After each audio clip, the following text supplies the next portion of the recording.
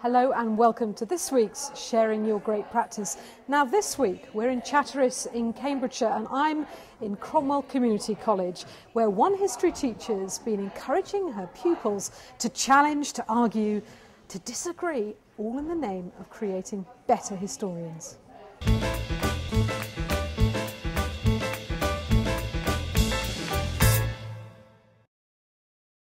So I want you to kind of test whether you agree with my idea. Hannah Dalton is head of history, and the challenge she faced was how to raise the attainment levels of lower ability history sets at Key Stage 3.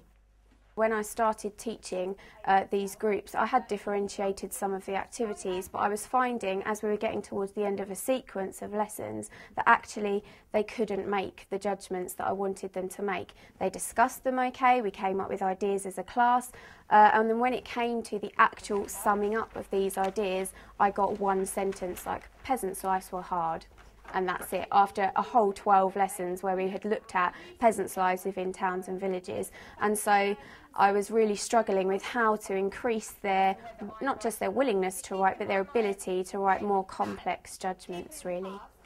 So she devised a scheme of work, Miss Dalton's big idea, where the starting point is to get the class to challenge what she's saying.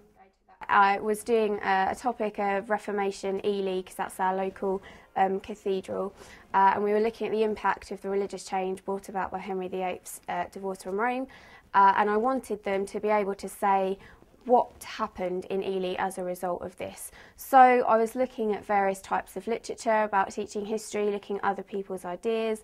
I read Fordham's work on how to get his A-level students to write better essays and I thought, well, I'm working at these low ability year sevens. What can I get them to do? So I came up with my big idea, if you like, um, and it was called Miss Dalton's Big Idea. And I was going to sell it to them as something that I had been working on for ages and ages and ages, and I wanted them to critique it, if you like, because they always like telling me that I've got something wrong. They love finding out that I've got something wrong. So we started with that as a first um, step. To help them, character cards are handed out so they can question the story through the eyes of their character.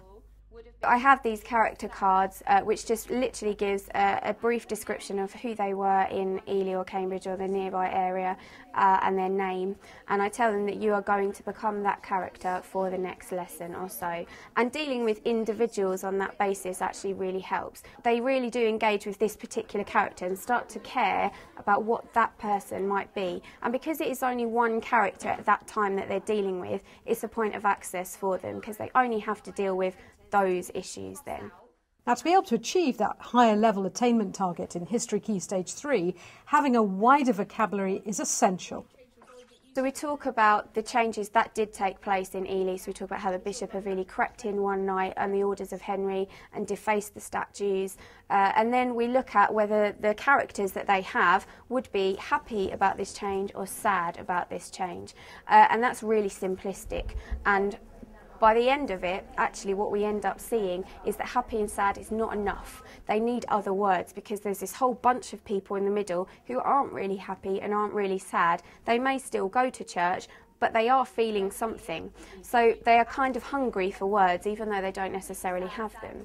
So using Woodcock's idea of uh, language, we look at these word mats and say people don't just feel happy, they don't just feel sad, and give them a, a, whole lot of other words. And then we start to place them around the classroom for these different words. And suddenly this one straight line becomes a complete mess. And we say, well, hang on, guys, how are we going to round up all of these different feelings? Uh, and then they, they get completely lost in that. So we try and write some sentences incorporating all that they've learned and experienced with these character cards. And they find that very difficult, which is fine. I quite like that. I like getting into the muddle and into the mess. And it's not just attainment levels in history that have benefited, it's building on key literacy skills. The work that Hannah's doing is really helping to reinforce the, the literacy skills that the students need to be able to overcome the difficulties that they're having and also to find ways of, of getting onto the improvements they need at level 5 and above. I think what it's improved is it's obviously made them more articulate, but also it's improved their thinking skills. And it's uh, improved, I think, their grasp of important concepts in history. Uh, before, um, you know, historians have quite often wanted to say, this is the story, this is the narrative, this is the description, these are the facts, instead of exploring at a deeper level. And I think this approach has allowed the children to explore at a deeper level, which is obviously good for all aspects of the curriculum. So if you want to learn how to raise Key Stage 3 history skills, here are some tips from the staff at Cromwell Community College. Don't be afraid to take risks and don't be afraid to encourage the students to challenge you. Become a non role model as a history teacher and encourage debate and historical argument. Use character cards to help each pupil see the diverse range of viewpoints. And building vocabulary is critical to higher level thinking, and so it has to be put at the centre of the history lesson. If you want to find out more about sharing your great practice, just visit our programme page at teachers.tv.